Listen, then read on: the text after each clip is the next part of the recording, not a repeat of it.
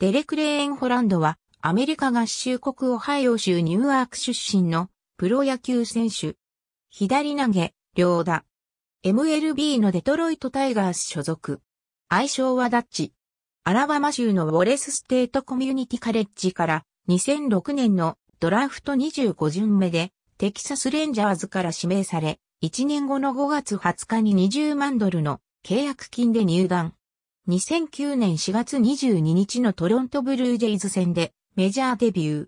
ルーキーイヤーで8勝を挙げたが、防御率6.13が示すように投球内容は不安定だった。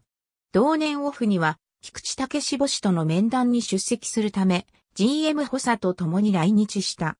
2010年はトリプル A 級オクラホマシティレッドホークスにいる期間が長く、メジャーでの登板は前年より減ったが、防御率は4.08と改善した。ポストシーズンではリリーフに回り、6試合に登板した。ニューヨークヤンキースとのアルクス第4戦では、4回裏、1四万塁のピンチで登板して、後続を断ち切り、3回に3を無失点に抑えて、レンジャーズの逆転勝利を呼び込んだ。2011年はエースの CJ ウィルソンと並んで、チームトップの16勝を挙げ、レンジャーズのアリーグ連覇に大きく貢献した。4完封はリーグ最多だった。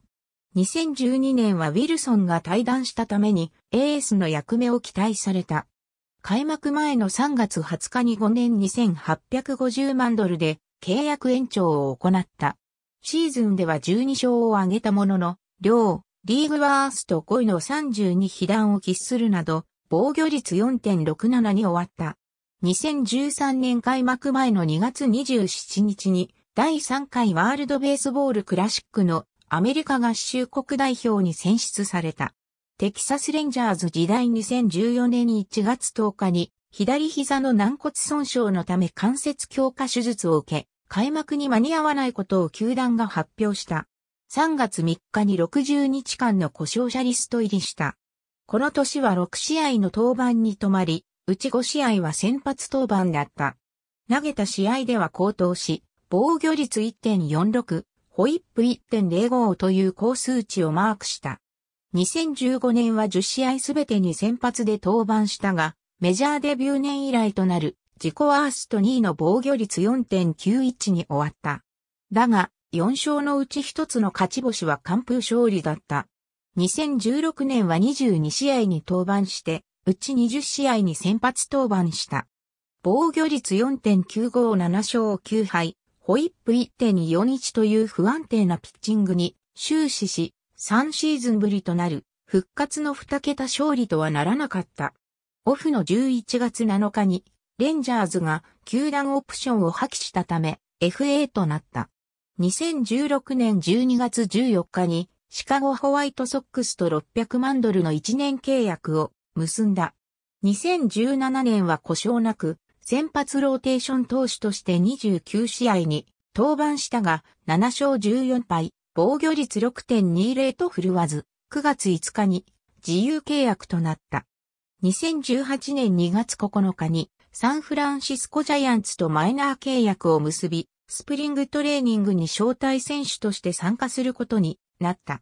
3月26日にジェフ・サマージャの離脱に伴い、メジャー契約を結んでアクティブロースター入りした。メジャー昇格後は36試合に登板し5年ぶりに規定投球回に到達。7勝9敗、防御率3.57と前年と比較するとある程度の成績の改善が見られた。オフの10月29日に FA となったが、2019年1月14日にジャイアンツと700万ドルプラス2020年の球団側オプションで再契約を結んだ。2019年7月21日にディーフとなった。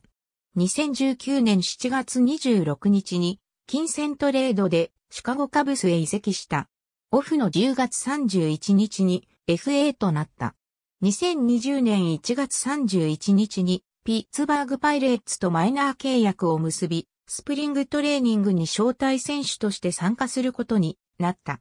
7月23日にメジャー契約を結んで40人枠入りした。オフの10月28日に FA となった。2021年1月26日にデトロイトタイガースとマイナー契約を結び、スプリングトレーニングに招待選手として参加することになった。メジャーに昇格した場合は給与として92万5千ドルが支払われ、オプションとして最大15万ドルの出来高が含まれる。4月1日にメジャー契約を結んでアクティブロースター入りした。2011年にデビットプライスに次ぐ平均球速94.97マイルパーアーを記録した左腕としてはリーグ屈指のスピードを誇る速球派左腕である。しかし、フォーシームを投げることはほとんどなく、1シーズン中に20球以上投げたのは2013年だけである。基本的には投球の約6割がシンカーというシンカーボーラーで、それにスライダー、カーブ、チェンジアップを織り交ぜる。2013年からは通常のカーブをやめ、ナックルカーブを投げている。ちなみに、2014年時点のフォーシームの平均球速は92.2マイルパワー程度まで落ち込んでいる。ありがとうございます。